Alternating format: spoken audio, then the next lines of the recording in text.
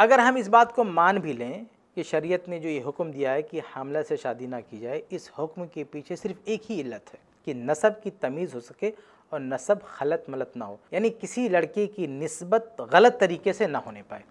चलो मान लेते हैं कि यही वजह है। तो भी इस केस में जानिया हमला के साथ जना करने वाला शख्स शादी नहीं कर सकता, क्योंकि जना से नसब साबित ही नहीं होता है राज्य कौल के मुताबिक। यानी ये जो मुकदमा है कि जानिया हमला के साथ जिसने जना किया है, वो उससे इसलिए शादी कर सकता है क्योंकि वो बच्चा इसी का है। ये बुनियादी गलत है, क्योंकि वो बच्चा शरीयत की निगाह में इसका नहीं है, क्योंकि शरीयत में जना से नसब साबित नहीं होता है। तो अगर शादी की इजाज़त दी जाए तो वलदुजना जो है, जो नाजायज़ औलाद है, उसको इसकी तरफ़ मंसूब किया जाएगा, जबकि शरीयत ये नहीं चाहती है। शरीयत मंसूब नहीं करती है। गर्च यही सबब है सबब है यही बच्चे की पैदाइश का, लेकिन शरीयत इसको उसका बाप करार नहीं देती है। इसलिए जब शरीयत उसका बाप नहीं मानती है गर्चे वो सबब है, जब शरीयत उसका बाप नहीं मानती है तो फिर इन दोनों की शादी भी नहीं हो सकती, वजह हमल से पहले, और ना वो बच्चा इसकी तरफ़ मंसूब हो सकता है। यानी ये शख्स, ये जानी शख्स उस बच्चे को अपना नाम नहीं दे सकता है। अब रही बात ये कि इस बात की क्या दलील है कि जना से नसब साबित नहीं होता। यानी एक जानी शख्स ने किसी के साथ जना किया और वो औरत हमला हो गई। तो वो बच्चा इसकी तरफ़ मंसूब नहीं हो सकता, यानी इससे उसका नसब साबित नहीं हो सकता, इस बात की क्या दलील है? तो इस बात के बहुत सारे दलाल हैं जिनकी तफसील इस मौजू पर हमारी लिखी हुई किताब में मिलेगी। मैं सिर्फ़ एक दलील आपके सामने रखूँगा जो बहुत ही वाज है, बहुत ही क्लियर है। ये दलील है सोना नबी दाऊद की, हदीस नंबर दो हज़ार दो सौ पैंसठ। सनद इसकी बिल्कुल सही है। लंबी रवायत है आखिर में अल्लाह के रसूल सल्लल्लाहु अलैहि वसल्लम फरमाते हैं व इनकान मिन अमतिन लम यम लिखा कि अगर किसी शख्स ने किसी ऐसी लौडी के साथ हम बिस्तरी किया, जिसका वो मालिक नहीं था, यानी जना किया और मिन हरतिन आहरा बिहा, आज़ाद औरत के साथ जना किया, यानी उसकी बीवी नहीं है, ना उसकी बांदी है, उसके साथ जना किया फ़िन ला यलहक़ बिही वला यरिस। तो इस नतीजे में जो बच्चा पैदा होगा, वो जानी के साथ नहीं मिलाया जाएगा, ना उसका वारिस होगा। देखिए, कितने वाज अल्फाज हैं।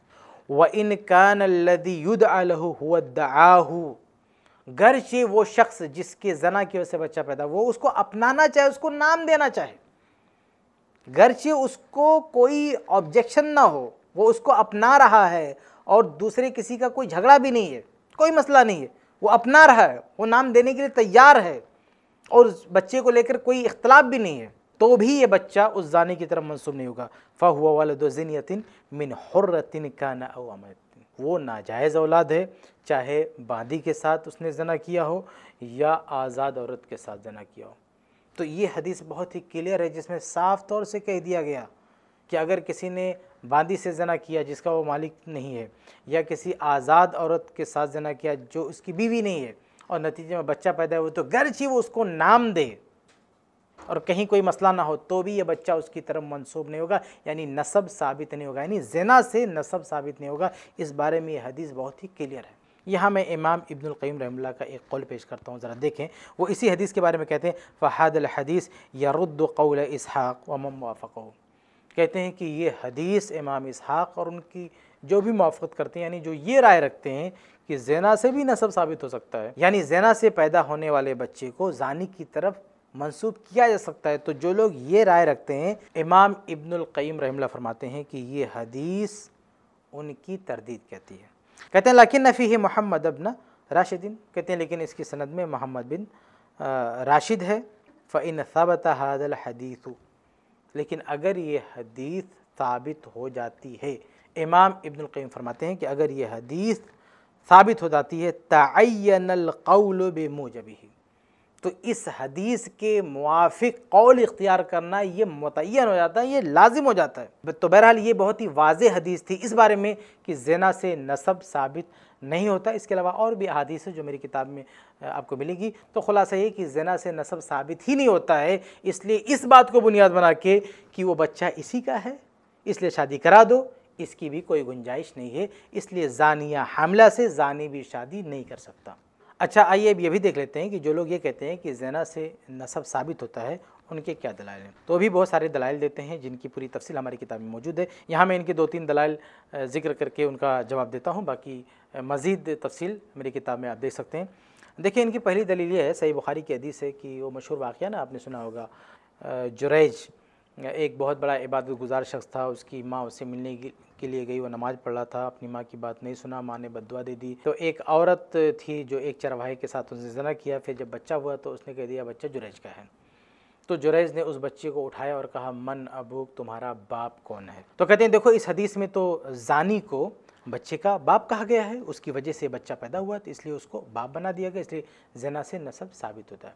तो इसका जवाब ये है कि यहाँ जो बाप कहा गया है, वो लोगोई माने में, शरई माने में नहीं यानी यहाँ बाकायदा नसब का इस्बात नहीं किया गया क्योंकि वो जानी वजह है, इस बच्चे की पैदाइश की वजह, क्योंकि ज़ाहिर है कि नुतफ़ा उसी का है। तो इस वजह को सामने रखते हुए बाप कहा गया है, यानी लोगोई माने में कहा गया वरना शरीयत की इस्तलाह में वो बाप नहीं है। और ऐसा हम इसलिए करें क्योंकि दूसरी जगह पर अल्लाह के नबी सल्लल्लाहु अलैहि वसल्लम की वाज हदीस मौजूद है कि जना से नसब साबित नहीं होता। बल्कि ये हदीस जिसका आखिरी हिस्सा मैंने अभी आपके सामने पेश किया जिसमें इस बात का सबूत है कि जना से नसब साबित नहीं होता है, उसी हदीस के शुरू में अल्लाह के नबी सल्लल्लाहु अलैहि ने लफ्ज़ अब के साथ ये बात कही है। तो ये भी दलील है कि यहाँ पे अब लोगोई माने में है, क्योंकि अब का इस्तेमाल करने के बावजूद भी अल्लाह के नबी वसल्लम ने कहा कि ये उसकी तरफ़ मंसूब नहीं होगा। इनकी एक और दलील है सुना नबी दाऊद की हदीस number two two six nine इसमें यह है कि अली रज़ी अल्लाह ने जना के एक केस में लड़के को जानी की तरफ़ मंसूब किया। लेकिन यह हदीस सही नहीं है, ये ज़यीफ़ है। शेब नोत वगैरह ने भी इसको ज़यीफ़ करार दिया और हकीकत में रवायत ज़यीफ़ है, इसलिए ये दलील नहीं बन सकती है। इसी तरह ये लोग एक दलील और देते हैं, जो मोता वगैरह की रवायत है। कि उमर बिन ख़त्ताब रज़ी अल्लाह ने कुछ बच्चों को उनके जानी बाप की तरफ़ जो है मनसूब किया। तो इसके कई जवाब हैं। सबसे पहला जवाब तो यही है कि सही और सरी हदीस के मुकाबले में आप सहाबी का असर पेश ही नहीं कर सकते। और दूसरी बात यह है कि उमर फ़ारूक रज़ी अल्लाह ने जिन मामला में बच्चे को जानियों की तरफ़ मनसूब किया है तो वो मामला ऐसे थे कि ज़माने जालियत में वो निकाह का तरीका होता था। यानी इस्लाम की नज़र में वो शादी नहीं है, लेकिन ज़माने जाहिलियत में वो शादी है, उसका नाम शादी है। तो उन केसेस में उमर फारूक रज़ी ने उनको मनसूब किया है, ये बाज़ अहल ने इसका जवाब दिया है। लेकिन बहरहाल ये जो कुछ है, सहाबी का असर है और सही और सरी हदीस के मुकाबले में इसको पेश नहीं किया जा सकता। तो ये कुछ दलाइल थे जिनका जवाब आपके सामने रख दिया गया इसके अलावा कुछ और चीज़ें लोग पेश करते हैं। उन सब की तफसील इस मौजू पर लिखी गई मेरी किताब में आप देख सकते हैं। खुलासा ये कि ये जो मसला है कि अगर किसी लड़के ने किसी लड़की के साथ जना किया और उसके नतीजे में लड़की हमला हो गई तो ये दोनों शादी कर सकते हैं कि नहीं? तो इस बारे में सही बात यह है कि ये दोनों शादी नहीं कर सकते हैं जब तक कि वो लड़की उस बच्चे को जन्म ना दे दे तब तक ये दोनों शादी नहीं कर सकते हैं। आ, शादी करने की यही शक्ल हो सकती है कि ये दोनों तोबा करें और तोबा करने के बाद जब बच्चे की वलादत हो तो ये दोनों आपस में शादी करना चाहें तो शादी कर सकते हैं। लेकिन याद रहे कि शादी करने के बाद भी ये जो बच्चा है, ये नाजायज़ औलाद ही माना जाएगा और इस बच्चे को इस जानी की तरफ़ मंसूब नहीं किया जाएगा और ना इसके माल में वो वारिस हो सकता है। ना इसकी तरफ़ मंसूब होगा, ना इसके माल में वो वारिस होगा। और यही सही बात है और जमहूर अहल ने, यानी उम्मत के अक्सर इमा व फ़क़ा व मुस्तदीन ने इसी बात को इख्तियार किया और यही राज है। इसलिए आज हमारे दौर में जो इस तरह के वाक़ात पेश आ रहे हैं, उस हवाले से हम यही कहेंगे कि ये दोनों ऐसी हालत में शादी नहीं कर सकते। और जो लोग इस केस में धड़ाधड़ फतवा देते हैं कि नहीं, दोनों शादी कर सकते हैं, बच्चों को अपना सकते हैं। तो उसका नुकसान ये है कि इस तरह की जनाकारी और बदकारी आम होती जा रही इनको कोई खौफ नहीं है और इस तरह के वाक़ात कसरत से रुनमा हो रहे हैं। अगर ये मौक़ जो जमहूर अहल इल्म का मौक़ है, अगर ये मौक़ सामने रखा जाए, इसको क्लियर किया जाए, इसको वाज किया जाए तो शायद ये लोग डरें। कि अगर हम जना करेंगे तो उस बच्चे से महरूम हो जाएँगे, इतने सारे मसाइल पैदा होंगे तो शायद लोग डरें। लेकिन अगर आप रास्ता दिखा के बैठोगे कि नहीं, जना करो, बच्चे पैदा करो, बाद में शादी कर लो, सारा मसला हल हो जाएगा तो इस तरह से तो और फसाद होगा। चुनाच यही वजह है कि बाज़ अहल इल्म, जिनकी ये राय है कि इस केस में दोनों शादी कर सकते हैं, ये राय होने के बावजूद भी वो क्या कहते हैं कि इस तरह का फतवा नहीं देना चाहिए। चुनाचे शेख इबन उथमीन रमला के इस मसले में जो राय है, वो उनकी तफसीर में देखी जा सकती है। सुर नसा की तफसीर में आप देखें जिल नंबर दो सफ़ा नंबर पाँच सौ सोलह पर वो लिखते हैं कि अलकौलमिन नाहियत नज़रिया कौलन सही है कि कहते हैं कि अगर हम इल्मी एतबार से बहस करें तो ये कौल ठीक है कि दोनों शादी कर सकते हैं। इल्ला अन्नहु ला यजूज़ु बिहिन्नास अलल कहते हैं कि इसके बावजूद भी अलल इतलाक, इसका फतवा देना जायज़ नहीं है। कहते हैं लेअन्नहुम लव उफ्तु बिही लतसाहलु फ़ी हादल अम्र क्योंकि अगर इस सिलसिले में लोगों को फतवा दिया जाए कि तुम शादी कर लो, बच्चे को अपना लो, कोई मसला नहीं है। तो इस मामले में लोग और सुस्त हो जाएँगे, और लापरवाह हो जाएँगे, और बेफिक्र हो जाएँगे। तो गौर करें कि वो लोग जिनकी ये राय है कि शादी हो सकती वो भी कहते हैं कि फतवा मन दो। यानी मसलहत का तकाजा ये है कि ये राय होने के बावजूद भी कहते हैं कि इसका फतवा देना मुनासिब नहीं है। तो आप गौर करें कि जमहूर अहम इसको सिरे से जायज़ ही नहीं कह रहे हैं। और जो जायज़ की बात कहते हैं, वो भी कहते हैं, फतवा नहीं देना चाहिए। तो आज के दौर में जिस तरह से बदकारी, जनाकारी आम हो गई है, उस पर कंट्रोल करने के लिए ज़रूरी है कि हम इस तरह के फतवे पर रोक लगाएँ और जना करने वाले लड़कों और लड़कियों को आगाह करें। तो शायद ये लोग जना से बाज आ जाएँ।